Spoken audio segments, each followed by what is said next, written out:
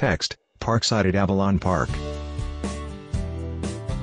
Inset balconies stretch in columns up a modern-style building.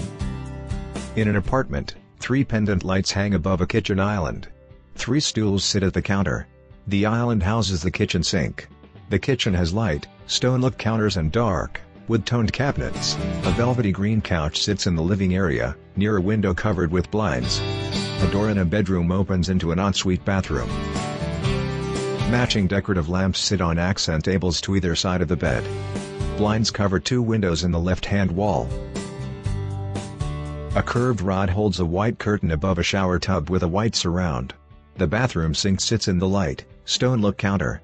Wire shelving lines the walls of a walk-in closet. Blinds cover a window in a second bedroom. Doors open into a walk-in closet and ensuite bathroom. White wire shelving hangs on the back and right-hand closet walls. A washer and dryer sit side by side in a closet. A set of chairs and an end table sit on a balcony that overlooks part of the complex. Text, Parkside at Avalon Park.